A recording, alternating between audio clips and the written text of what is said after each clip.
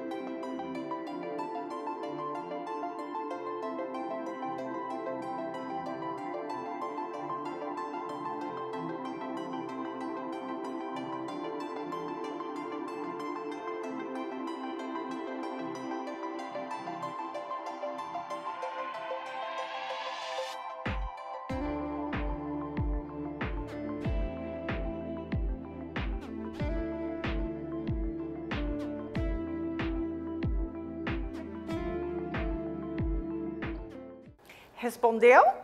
Ótimo. Essa é uma questão pessoal, então não tem correção, né, pessoal? Porque você vai dizer, ah, sim, eu já participei, não, eu não participei, é uma coisa muito sua, muito particular. Ainda, agora vamos entender um pouquinho desse negócio de lives. Ainda que o recurso esteja disponível há uma década, com início em 2011, a explosão da transmissão via streaming a hoje popularíssima live durante a quarentena decorrente da pandemia do coronavírus, é um fenômeno que tem no Brasil o seu principal mercado. Lives vêm ocorrendo aos milhares em todos os cantos, em diferentes plataformas e redes sociais. Música, cinema, artes cênicas, exercício físico, culinária, palestra, aulas, debates de toda a natureza. Um levantamento realizado pelo Google, responsável pela plataforma de vídeos YouTube, revelou que as lives musicais já foram assistidas por mais de 85 milhões de pessoas no Brasil. O formato fez sucesso em meio à pandemia do novo coronavírus, com cantores brasileiros dominando o ranking de transmissões mais assistidas. Das 10 lives musicais mais vistas no YouTube, oito são de cantores brasileiros. Até agora, a transmissão mais vista da plataforma é a da sertaneja Marília Mendonça, que atingiu 3 milhões e 300 mil visualizações simultâneas. Olha que fenômeno, né? Antes de irmos para a atividade, eu quero voltar aqui, lá no começo do nosso texto, onde diz: ainda que o recurso esteja disponível há uma década. Uma década é um substantivo coletivo, sabia? Quantos anos tem uma década? Coisa lá de matemática. Se você não souber isso, você já não consegue entender há quanto tempo esse, esse, esse, esse recurso está no mercado. Portanto, lembrem que a professora falou, não podemos passar por texto algum e deixar a palavrinha sem que conheçamos, ok? Vamos lá, atividade 2 para você. Das 10 lives musicais mais vistas no YouTube, oito são de cantores brasileiros.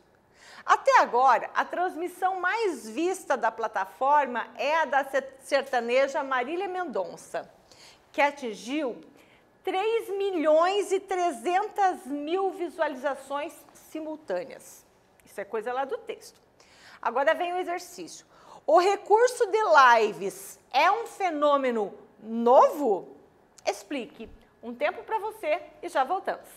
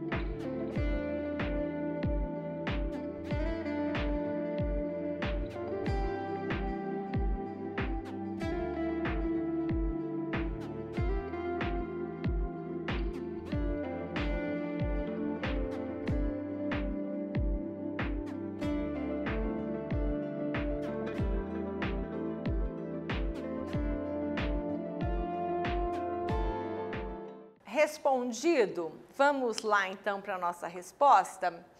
Segundo o texto, o recurso de lives está no mercado há 10 anos, mas o grande consumo está sendo agora na pandemia do coronavírus. Olha só, pessoal, é, sobre o tempo, sobre a passagem do tempo, é importante que nós lembremos, né, que o tempo é relativo. Como assim, professora? Vocês acham que 10 anos para, para mim é muito tempo? Não. 10 anos para vocês é muito tempo? Sim. Se eu estou esperando, eu preciso esperar por um dia, por uma coisa que eu amo fazer, o tempo passa rápido ou o tempo demora? Se eu estou esperando um dia para fazer uma coisa que eu odeio fazer, o tempo passa rápido ou demora? A aula, os 20 minutos da aula, lá em sala de aula, passam rápido ou demoram? E os 20 minutos do intervalo, passam rápido ou demoram? Você viu que interessante? Quando a gente está fazendo uma coisa que a gente gosta muito, parece que o tempo voa. Quando a gente está fazendo uma coisa que é meio desgastante, o tempo demora a passar. É por isso que o tempo, o tempo é relativo. Na verdade, o relógio ele vai fazer o mesmo tempo, vai correr igualzinho. Só a nossa sensação que é diferente, a nossa percepção que é diferente. A empresa chegou aos números a partir de uma pesquisa online com 1.007 pessoas entrevistadas entre 18 e 54 anos, realizada em junho de 2020 para entender como as lives têm sido consumidas. Dos entrevistados, 71% disseram ter assistido a pelo menos uma live. 38% disseram ter visto seis ou mais delas. E 24% viram mais de 10. O cálculo do Google considerou que a população digital, ou seja, com acesso à internet, no Brasil é de 120 milhões. E, portanto, 71% dela resultaria em mais de 85 milhões. Esse texto, eu acho que você está tá, tá falando de, nossa, professora, mas que confuso. Como que eles entrevistaram 1.007 pessoas e disseram que 85 milhões de pessoas viram é, as lives. Não é estranho? Sim e não. Sim, porque se nós jogarmos, eles entrevistaram 1.007, nunca, nunca ia, não ia ter 1.008 entrevistados se eles entrevistaram 1.007. Porém, é um, um trabalho com porcentagem, é um cálculo matemático que eles fazem. Você viu a importância da gente entender a matemática? Você viu a importância de fazer os exercícios que o professor passa? Porque matemática é treino, gente. É igual o pênalti. Para quem gosta de futebol, você não consegue marcar pênalti se você não treinar o pênalti. Matemática é a mesma coisa. Se você treinar isso, você sabe ler. Se insiste para aprender a ler, né? Porque você sabe que leitura também não é milagre, né, gente? Leitura é assim. Você tem que pegar, insistir, insistir, insistir, insistir, que você fica bom na leitura consegue ler direitinho e consegue fazer cálculo matemático, acabaram os seus problemas, ok? Olha só, lembra que nós falamos do 85 milhões de pessoas que têm acesso à internet? Ó, 71% dos entrevistados falaram que viram pelo menos uma live. 38% dos entrevistados falaram que viram de seis até seis lives. E aqui, ó, pelo menos seis lives. E 24% falaram que viram mais de 10 lives, ok? É claro que se, fosse, se eu fosse você, aí eu ia pegar esses 85 milhões, ia ver quanto que era o, o é, pegar os 120 milhões, ver quanto que era 85, ver quanto que era os 38, quanto que era o 24%, mas isso, quem sabe, fica lá para uma próxima aula. Já nas primeiras semanas do isolamento social, cerca de mil profissionais do meio, que meio, professora? Vamos ver aqui na sequência. Ligados a gravadoras, distribuidoras, escritórios de artistas, produtoras, editoras, fizeram um curso online promovido pelo YouTube. No treinamento foram passados detalhes técnicos, como qual velocidade e vídeo tem que ter a banda larga, o mínimo de uma estrutura para uma boa live. Galera, vocês viram que até os técnicos que trabalham com isso tiveram que passar por uma formação, uma atualização profissional, porque os equipamentos a cada dia eles estão né, mais avançados. Ver a importância da formação. E nesse tempo de pandemia, a formação veio por que meio? Pelo, pela internet, né? Atividade 3, das 10 lives mais das 10 lives musicais mais vistas no YouTube, oito são de cantores brasileiros. É uma afirmação que está no texto. Vem o exercício. A partir do trecho, o que é possível afirmar sobre o recurso de lives de entretenimento no Brasil? Tá muito fácil, te espero.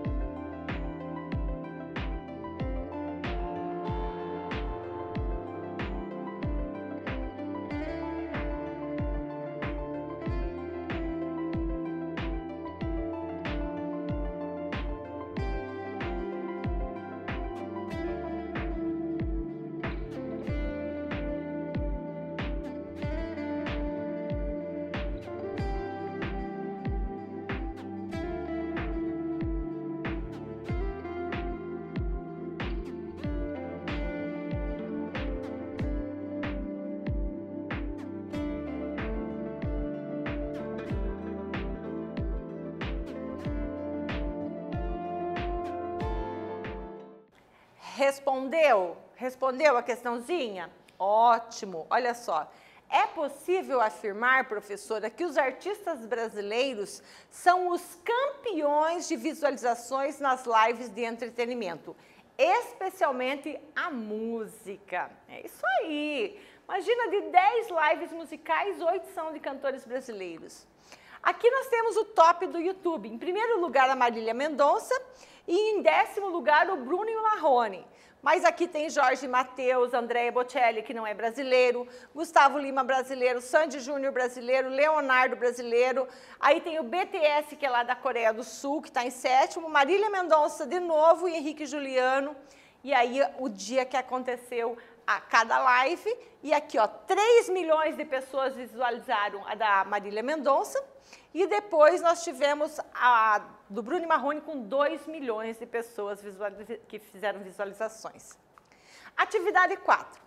Já nas primeiras semanas do isolamento social, cerca de mil profissionais do meio, ligados a gravadoras, distribuidoras, escritórios de artista, editoras, fizeram um curso online promovido pelo YouTube. Exercício. A partir do texto, somente o entretenimento fez sucesso na internet? que podemos compreender sobre a formação profissional? É com você.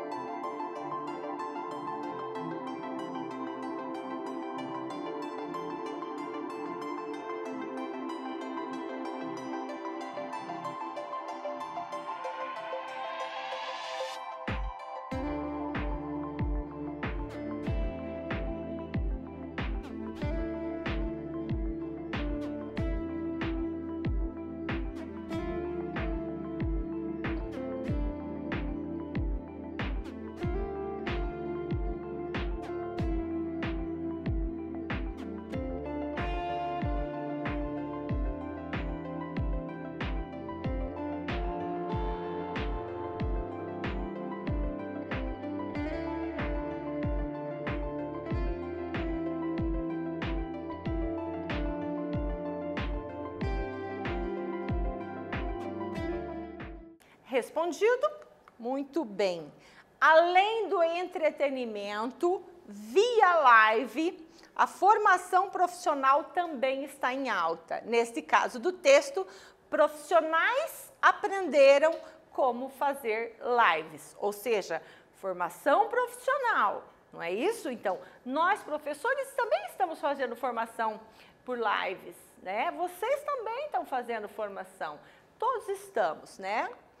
Pessoal, resumindo a nossa aulinha de hoje, lemos textos informativos sobre as lives, como esse recurso proporciona entretenimento e formação profissional aos usuários.